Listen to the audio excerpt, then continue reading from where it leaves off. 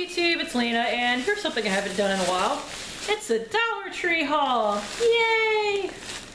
So I was going, I do stop into the Dollar Tree very regularly, but I usually only wind up leaving with a couple of things, and they're things I buy regularly, so I haven't been filming any hauls in a while.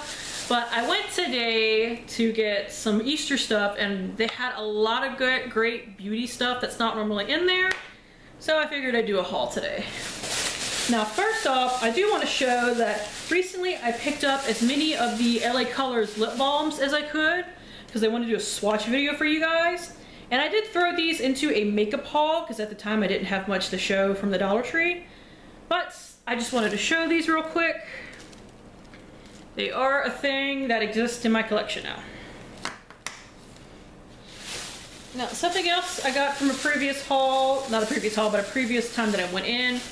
I picked, I do have a planner, so I do pick up stickers on occasion now. And I just thought these were really cute. They are handmade, supposedly. They have a bunch of traveling places in them. So they have like Egypt, Japan, a whole bunch of other places, Paris. So I thought these were really cute. And they're the ones that have like the texture on them so you can like feel them and they like stand up and stuff. So really cool.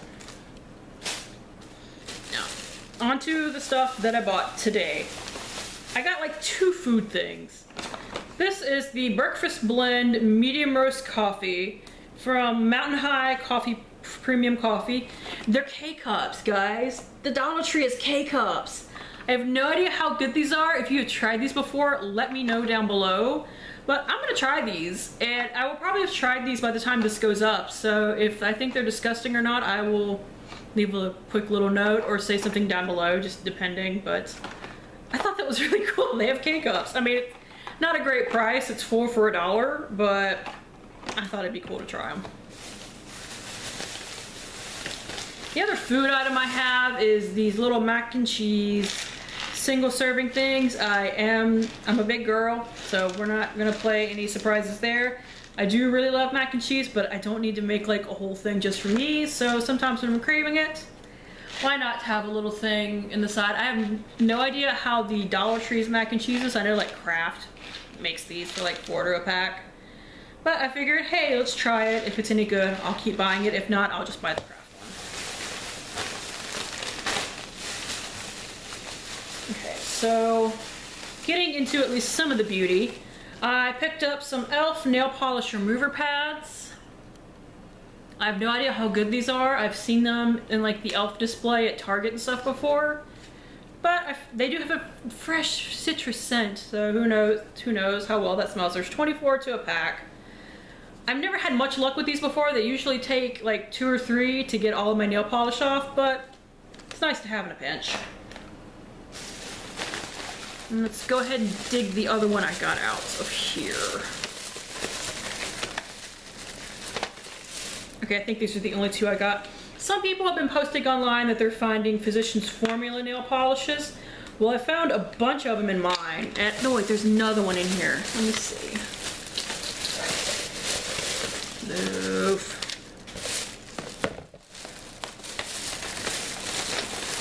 Yep, here it is. So I grabbed three that appealed to me. Let's see, do these have names?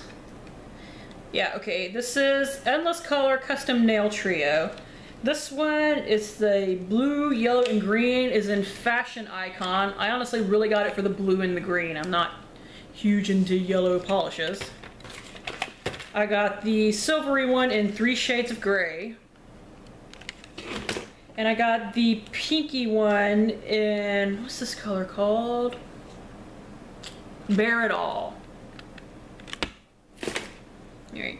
Next, I got one of those microfiber hair wraps, a little Turbie Twist thing, so they can't call it that because it's a knockoff. My hair is actually short enough to where I can use these. Got some permanent markers and a bunch of different colors. That's, I'm always using permanent markers for stuff, and I liked the fact that they came in a bunch of colors. I needed a bunch more pens, so I picked up a new pack. I picked up some vinyl top liner because I like I would like to actually stick this in my fridge to keep stuff from sliding around. Here is the pattern if you were so curious. I got some new bath gloves. I like to use these when I'm in the shower. And what I was really excited for when I saw, they have a bunch of the Milani, uh, I just, no wait, that's not one of them, That was something else, thank God. They have a bunch of the gel powder eyeshadows from Milani, which they still sell online on the Milani website for $4.49. But they, C, CVS stopped carrying the colored ones, so I guess that's where these are from. So I don't know the names of these, but these were four that I didn't have, because I have a bunch of them. Light pink, a light blue, which I might have. I was not totally sure. I Have a deeper purple, and a deeper pink, which I thought was really cool. Now, stuff that I picked up for Easter. Uh, my husband and I are doing Easter baskets for each other because we're goobers like that.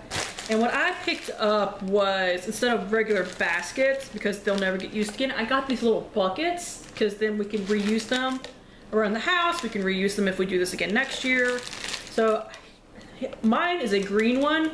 His is a blue one, but I have already stuck stuff in it so I can't go grab it. It is actually the color of this blue right here, really close.